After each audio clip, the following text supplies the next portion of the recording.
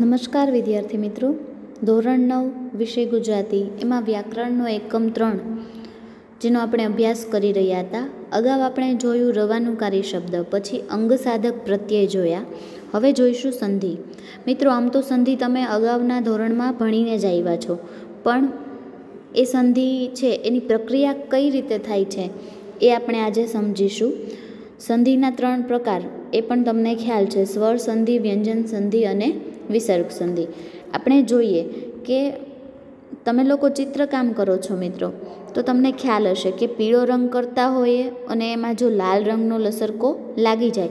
એટલે કે રંગ કરતાં કરતાં લાલ રંગ એની અંદર જતો રહે તો શું થાય? તો એટલા એટલો રંગ છે કે જ્યાં તમે પીળો કલર કર્યો છે, એની ઉપર તમારાથી ભૂલથી લાલ કલર થઈ જાય. તો એ કલર છે એ કેસરી દેખાશે. હવે એવું કેમ થાય? તો આપણને સમજાય કે એક રંગની અંદર બીજો રંગ ભળે એટલે એ બે રંગ બદલેનો ત્રીજો રંગ આપણને ત્યાં દેખાય. તો મિત્રો, સંધિમાં પણ કંઈક આવું જ છે. જો આપણે ઉચ્ચારણની પ્રક્રિયા એ અગાઉના ધોરણમાં શીખી છે. ઘોષ અને અઘોષ વ્યંજનો આપણે ભણ્યા છે. હવે ઘોષ એટલે વધારે કંપિત હવા અને અઘોષ એટલે થોડી ઓછી કંપિત હવા. આપણે જાણીએ છીએ કે સ્વર પેટીની મદદથી આપણે કઈ રીતે દરેક સ્વર અને વ્યંજનનું ઉચ્ચારણ કરીએ છીએ. હવે આગળનું અક્ષર અઘોષ હોય, તેની હવાના કંપનો ઓછા હોય અને તેના પછી જે ધ્વનિ આવે તે ઘોષ હોય, તેની હવાના હવાના જે કંપનો છે એ થોડા વધારે હોય, તો તે આગળના અક્ષરના હવાના કંપનો છે એને વધારે, બરાબર? તો આપણને સમજાય એ વાત. એટલે કે તમે ક બોલો છો તો એ અઘોષ ધ્વનિ છે. હવે અઘોષ ધ્વનિ હોય એટલે એના કંપનો થોડા વધારે હોય. પછી એ અઘોષ ધ્વનિ પછી તરત જ તમે ઘોષ ધ્વનિ બોલો. એટલે એ ઉચ્ચારણ છે એ તમારા મુખ દ્વારા બહાર આવે ત્યારે એ બજી એના પછીનો જે બીજો શબ્દ હોય એટલે કે જે સ્વર અથવા તો વ્યંજન એ ઘોષ હોય એટલે કે એનું કંપન વધારે હોય તો એ બંને મિક્સ થઈ જાય, તો શું થાય? તો કે કે જે એ સ્વરની હવા છે એ ઘોષ છે, તેના કંપનો વધારે હોય. એટલે વધુ કંપન માત્રાવાળા આગળના અઘોષ ધ્વનિ કના કંપનોમાં ભળે. એટલે ક અઘોષ ન રહેતા ઘોષ થઈ જાય. કોઈ શબ્દ બોલીએ ને ત્યારે આપણને ખ્યાલ આવે. જો આપણને અહીંયા ઉદાહરણ પણ મિત્રો આપ્યું છે. આપણે જોઈએ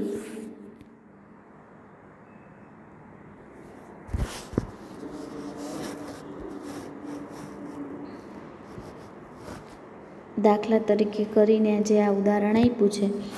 અહીંયા વાક અને અવયવ. હવે અ છે. બરાબર? વાક શબ્દ અવયવ ભેગો ભળી અને કેવી રીતે લખાણો? વાગ, વય. હવે એવું કેમ? એ આપણે સમજીએ. આપણને સમજાય કે સંધિ છે એ વાંચવાનો વિષય નથી, બોલવાનો વિષય છે. હવે તમે જે સંધિ કરવાની હોય ને તે બે શબ્દોને ઝડપથી બોલશો, એટલે ત્યાં સંધિ થશે જ. તમારે માત્ર તેને ઓળખવા પર ધ્યાન આપવાનું છે. કારણ કે બે શબ્દો પાસે ઝડપથી પાસે આવે ને ત્યારે પહેલા શબ્દના છેલ્લા અક્ષર અને બીજા શબ્દના પ્રથમ અક્ષર એમાં ઉચ્ચારણ સંદર્ભે પરિવર્તન આવે. તે સંધિ એટલે તે સંધિ. સંધિ કોને કહેવાય? એ આપણે જોયું કે બે શબ્દો પાસે આવે ત્યારે પહેલા અક્ષરનો છેલ્લો, પહેલા શબ્દનો છેલ્લો અક્ષર, બીજા શબ્દનો પ્રથમ અક્ષર. એ બંનેનું ભેગું ઉચ્ચારણ થાય એટલે સંધિ બને. એ આપણે આ ઉદાહરણમાં જોયું. જો વાક અને અવયવ, એ બંને ભેગો થતા શબ્દ બનો વાક, અવયવ, વાગવય. બરાબર? ખ્યાલ આવે? તો આ ક અને અ, એ બંને ક છે એ પહેલા શબ્દનો છેલ્લો અક્ષર છે.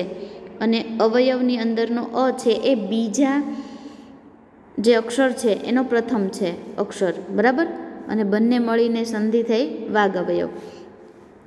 તો આપણે જોઈએ સ્વર સંધિ, વિસર્ગ સંધિ અને વ્યંજન સંધિ. આ તમે જોઈ. હવે એની પ્રક્રિયા આપણે જોઈશું. તો પહેલાં સ્વર સંધિ જોઈએ.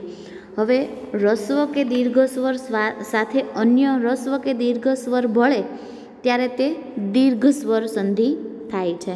એના માટે જો આપણને આ ઉદાહરણ આપ્યું છે બે રેખાનું, એટલે કે લીટી એમ અહીંયા આપણે જોઈએ કે બે નાની રેખા મળે તો એક મોટી રેખા થાય. આવી રીતે બે નાની નાની લીટીઓ છે, બરાબર? એને આમ ભેગી કરી દઈએ તો મોટી થઈ જાય હવે એક નાની અને એક મોટી રેખા મળે તો પણ મોટી રેખા થાય. હવે આ નાની રેખા, આ મોટી રેખા, એ બેને ભેગી કરી દઈએ તો પણ શું થશે? મોટી રેખા થશે. અને બે મોટી રેખા મળે ત્યારે તો એ મોટી જ છે એમ. હવે આટલી મોટી મોટી બે રેખા હોય, હવે એ બે ભેગી થઈ જાય તો એ તો મોટી જ થવાની એમ. એ જ રીતે બે રસ્વ સ્વર ભેગા થાય કે એક રસ્વ અને એક દીર્ઘ સ્વર ભેગા થાય કે બંને દીર્ઘ સ્વર ભેગા થાય. બધી પરિસ્થિતિમાં ઉચ્ચારણ છે એ કેવું થવાનું? તો કે દીર્ઘ જ થવાનું. એના આપણને જો અહીંયા ઉદાહરણ આપ્યા છે.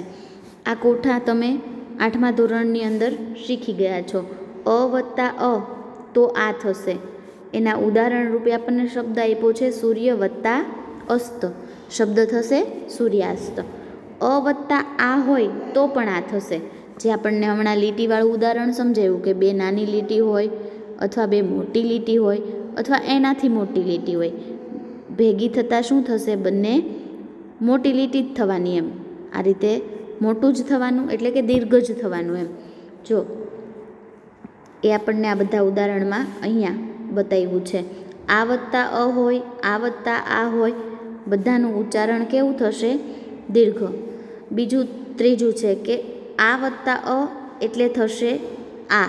અને એનો શબ્દ ભાષા વત્તા અંતર એટલે થશે ભાષાંતર. પછી વિદ્યા વત્તા આલય એટલે વિદ્યાલય. એવી જ રીતે બીજું ઉદાહરણ છે. જો, આ હસ્વ ઈ અને દીર્ઘ ઈ. બંને મળીને બનશે દીર્ઘ ઈ. સંધિ હરિ વત્તા ઈચ્છા એટલે હરિચ્છા. પછી દીર્ઘ ઈ અને રસ્વ ઈ તો પણ થશે દીર્ઘ ઈ. દીર્ઘ અને રસ્વ તો પણ થશે દીર્ઘ. બરાબર? દીર્ઘ દીર્ઘ હશે, તો પણ થશે દીર્ઘ. ખ્યાલ આવે મિત્રો? પરી વત્તા ઈચ્છા એટલે પરીક્ષા. દેવી વત્તા ઈચ્છા એટલે દેવીચ્છા ગૌરી વત્તા ઈશ્વર એટલે ગૌરીશ્વર. હવે પરીક્ષામાં તમારે કઈ રીતે પૂછાય મિત્રો?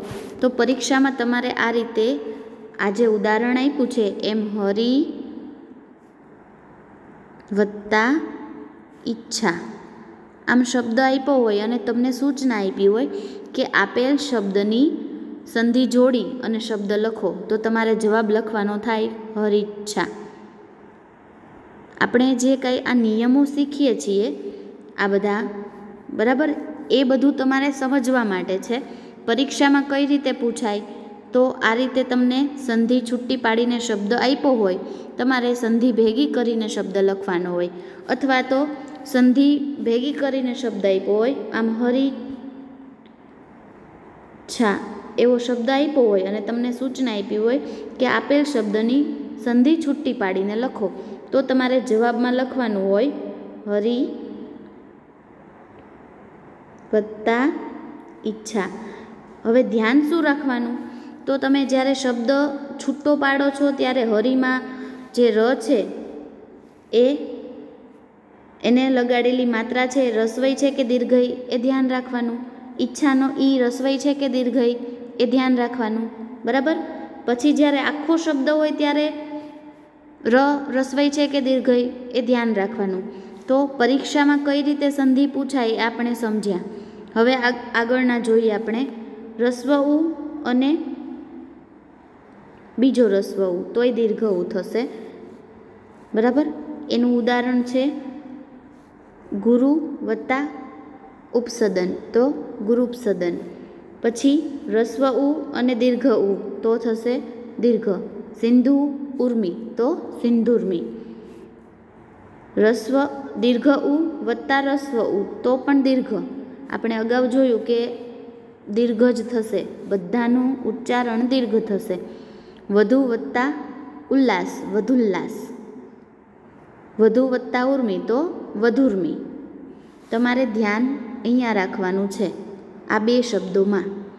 આ બે શબ્દો આ જે બે અક્ષર છે, એનો આ એક અક્ષર થાય છે, પણ છૂટા પાડીએ ત્યારે રસવઈ દીર્ઘ કઈ રીતે હોય? અને ભેગો શબ્દ હોય સંધિવાળો, ત્યારે રસવઈ દીર્ઘઈ કઈ રીતે હોય એ ખાસ યાદ રાખવાનું. હવે આ બધા મિત્રો કેવા હતા શબ્દો? તો કે કે સમાન ઉચ્ચારણવાળા હતા, એક જ સમાન હતા એમ. હવે જ્યારે જુદા જુદા હોય, ત્યારે કઈ રીતે યાદ રાખીએ? એક જ વર્ગના એ હતા. જો આપણને અહીંયા ઉદાહરણ આપ્યા છે, સત્યાગ્રહની સંધિ છૂટી પાડીને તમારે લખવાની ચિંતાતુર સુક્તિ. એના જવાબ આપણને આપ્યા જ છે. જો સત્યાગ્રહ તો સત્ય વત્તા આગ્રહ થશે. સત્યા વત્તા આગ્રહ નહીં થાય. પાછું એ ધ્યાન રાખવાનું. કારણ કે સત્યા એટલે એ શબ્દ કેવો થયો? આગ્રહ. એમ અવત્તા આ અહીંયા જોડાણા છે. ચિંતાતુર. તો ચિંતા વત્તા આતુર. પછી સુક્તિ. તો સુ વત્તા ઉક્તિ. સમજાય? હવે આ બધા તો એક જ વર્ગના શબ્દ હતા. એ વર્ણ હતા. ઈ, ઉ, એ બધા કેવા હતા? તો કે કે એક જ વર્ગના સ્વર હતા. હવે જુદા જુદા હોય ત્યારે કઈ રીતે? તો જો એના આપણને અહીંયા ઉદાહરણ આપ્યા છે. અ, અહીંયા અ અને ઈ બંને જુદા જુદા સ્વર થયા. અગાઉ આપણે જોયું હતું ત્યારે અ વત્તા અ જ જોયું હતું. ઈ વત્તા ઈ જ જોયું. બરાબર? હવે આ જુદા વર્ગનો સ્વર છે એને સાથે મળીએ અને જુદા વર્ગના સ્વર બંને ભેગા થઈને કયો સ્વર બનાવે છે એ જોવાનું છે. તો અ વત્તા દીર્ઘ ઈ તો થશે એ, સ્વ વત્તા ઈચ્છા. તો એનો શબ્દ થશે સ્વેચ્છા. પછી અ વત્તા, સોરી, આ રસ્વ હતો ને આ દીર્ઘ છે, બરાબર? અ વત્તા ઈ એટલે એ થશે.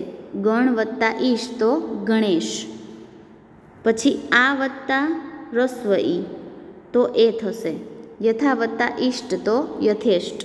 તમારે મિત્રો આ આ અને આ એ ધ્યાનમાં રાખવાનું છે. સાથે સાથે ઉચ્ચારણ કરતી વખતે કઈ રીતે બોલીએ છીએ એ ધ્યાનમાં રાખવાનું છે. સમજાય મિત્રો?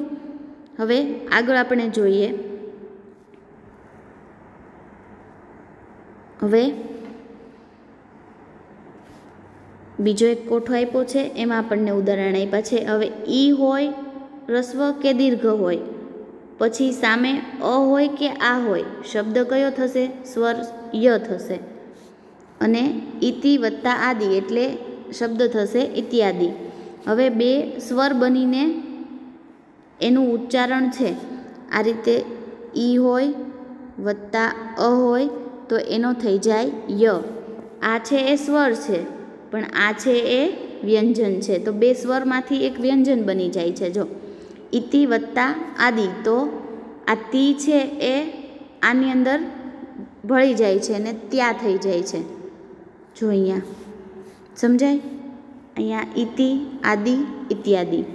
એવી જ રીતે ઉ વત્તા ઉ વત્તા અ વત્તા આ એટલે વ થશે. સુ વત્તા આગત એટલે સ્વાગત. હવે રૂ વત્તા અ અથવા તો રૂ વત્તા આ. એનું થશે ર. પિતૃ આજ્ઞા એટલે પિત્રાજ્ઞા. સમજાય મિત્રો? એવી જ રીતે આપણને બીજા પણ ઉદાહરણો અહીંયા આપ્યા છે. હવે આ કોઠો સમજીએ.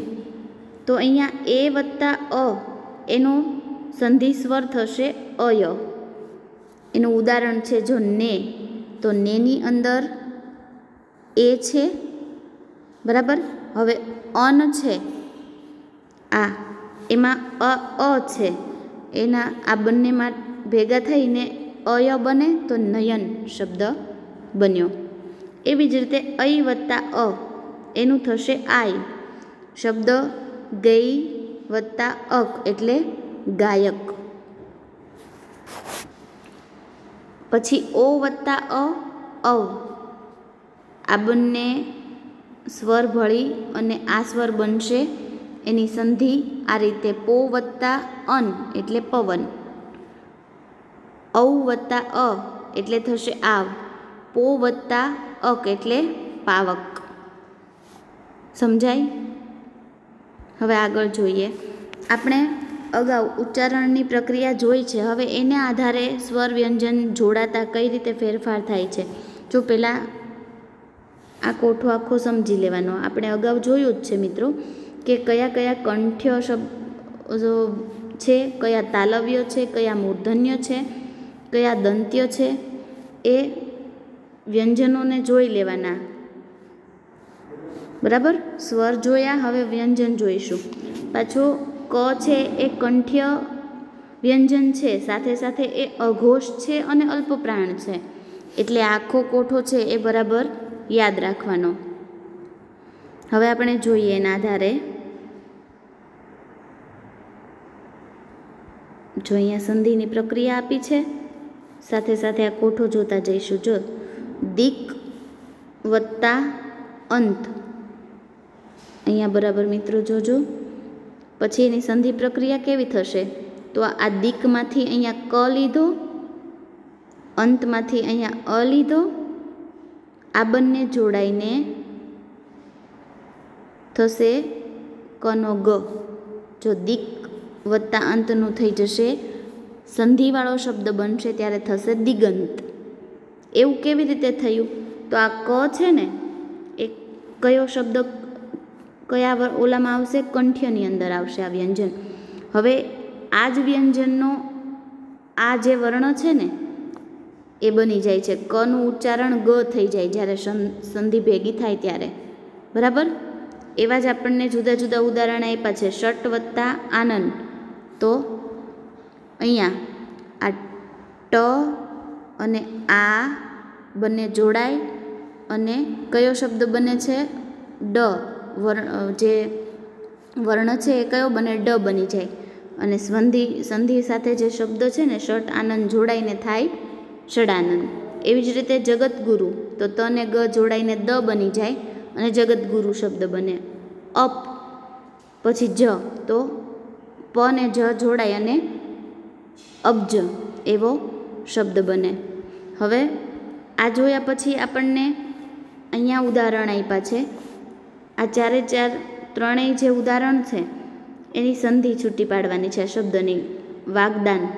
તો સંધિ છૂટી પડે ત્યારે શું થશે? વાક વત્તા દાન. ષટકોણ તો ષટ વત્તા કોણ? સદગુરુ. તો સત વત્તા સદગુણ. સોરી સત વત્તા ગુણ. બરાબર?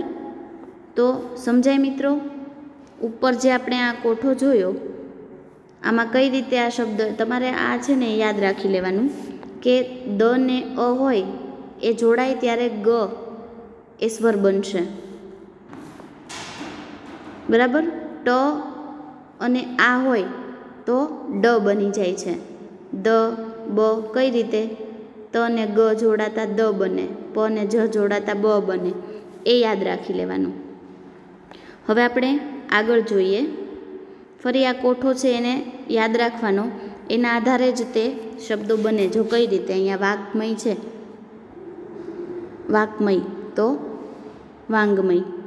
શબ્દ જોડાઈ ગયો, તો કનો કયો વર્ણ આવી ગયો? અનુનાસિક. અંગ. બરાબર? પછી ટ ને અણ હોય ને, તો એનો મ બની જાય. કેવી રીતે? ષટ માસ. બરાબર? ટ ને માં જોડાઈને ષણ માસ થઈ ગયું. ત અને ન હોય, એમાંથી ન થઈ જાય. ઉત્નયન, તો ઉન્ન એવી રીતે દ ડબલ ન હોય ને ત્યારે આ રીતે લખાશે ઉન્નયન. સમજાય મિત્રો? એવી જ રીતે અહીંયા બીજા ઉદાહરણ આપણને આપ્યા છે. કિંચિત, તો સંધિ શબ્દ થશે કિંચિત. સંયોગ, તો સંધિવાળો શબ્દ થશે સંયોગ. સંરક્ષણ, તો સંરક્ષણ. સંતોષ સંતોષ. સંવાદ તો સંવાદ. સમલગ્ન એટલે સમલગ્ન. સંધિ છૂટી પડે ત્યારે સમ હોય. શબ્દ ભેગો થઈ જાય ત્યારે એનો અનુસ્વાર બની જાય ને સમલગ્ન. એનો ઉચ્ચાર છે એ થોડો ફરી જાય. સમજાય મિત્રો? તો આ જ રીતે હવે આગળ બીજા પણ આપણને શબ્દો છે જો. અહીંયા વિસર્ગવાળા શબ્દ નિહિ વત્તા આહાર એટલે નિરાહાર, નિહિ વત્તા ધન એટલે નિર્ધન. તો અહીંયા શું ફેરફાર થયો? નિહિ એમાં જે અ છે અને આ આ છે, એ જોડાઈને શું થઈ ગયું? વિસર્ગ છે એનો ર થઈ ગયો. બરાબર? એવી જ રીતે અહીંયા, દુહુ વત્તા કર્મ તો દુષ્કર્મ. ચતુહુ વત્તા પાદ એટલે ચતુષ્પાદ. નિહિ વત્તા ફળ એટલે નિષ્ફળ. ધનુહુ વત્તા ટંકાર એટલે ધનુષ્ટંકાર. બરાબર મિત્રો? આપણે આ બધી વિસર્ગ સંધિ જોઈ રહ્યા છીએ. વિસર્ગ સંધિની પ્રક્રિયા. જો અહીંયા આ રહી ગયું અધોહ વત્તા ગતિ એટલે અધોગતિ. મનોહ વત્તા બલ એટલે મનોબલ. પછી એ જ રીતે આગળ છે. નિહથી બનતા વિસર્ગ ધરાવતા નિહિ એના પછી ર હોય તો એનું શું થશે? ફેરફાર એ દીર્ઘ થાય છે અને વિસર્ગનો લોપ થઈ જાય છે. એ કઈ રીતે? તો એનું ઉદાહરણ આપ્યું છે, નિહિ વત્તા રોગ તો નિરોગ. નિહિ વત્તા રસ તો નિરસ. જે રીતે આ વિસર્ગનો આ જે નિશાની છે એ નીકળી જશે. અને આ ર જે ની છે એ કેવો હતો? રસ્વ છે, તો એ શબ્દ નિરોગી એવો બનતા ત્યાં દીર્ઘ થઈ જશે. જો આમાં ફેરફાર થયો, એ જોઈ લેવાનો મિત્રો. હવે આગળ છે કે વિસર્ગ પછી ચ, છ કે શ ધ્વનિ હોય, તો વિસર્ગનો શ થાય. એનું ઉદાહરણ છે, નિહિ વત્તા ચિત્ત, તો નિશ્ચિંત. મનઃ વત્તા ચક્ષુ, તો મનશ્ચક્ષુ. પુનઃ વત્તા ચ, તો પુનશ્ચ. આપણને ચ, છ અને શ ત્રણેયનું ઉદાહરણ સમજાવ્યું છે. પછી છે નિહિ અને દુહુ. એની પૂર્વ પ્રત્યય પછી જો શ અને સ આવે, તો વિસર્ગ યથાવત રહે છે. એ કઈ રીતે? શવાળી સંધિ આપણે જોઈએ જો શવાળી તો નિહિશંક નિહિ શબ્દ. આ નિશંકનું કેમ છૂટું પડ્યું હોય? જો નિહિ વત્તા શંક. તો એ શબ્દ આમનામ જ જોડાઈ જશે. નિશંક, નિશબ્દ, નિશસ્ત્ર, નિશુલ્ક. જો બધે શ એમનો એમ જ રહ્યો અને વિસર્ગ એમ જ છે. બરાબર? એવી રીતે સ તો નિસંદેહ, નિસત્વ, નિઃસ્વાર્થ. દુ તો દુઃસાધ્ય, દુઃસાહસ, દુઃસ્વપ્ન, દુશાસન. સમજાય મિત્રો? પછી છે વિસર્ગ પછી ત સ હોય તો વિસર્ગનો સ થાય. નમઃ તે તો નમસ્તે. અંતઃ તત્વ તો અંતસ્ત્વ.